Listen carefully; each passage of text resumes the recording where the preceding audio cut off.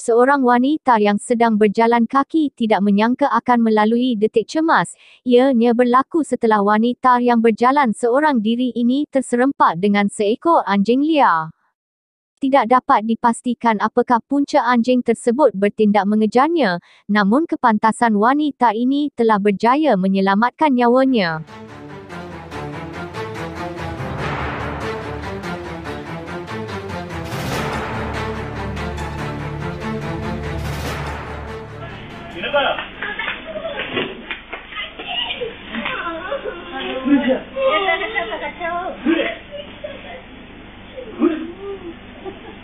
Ayuda, por.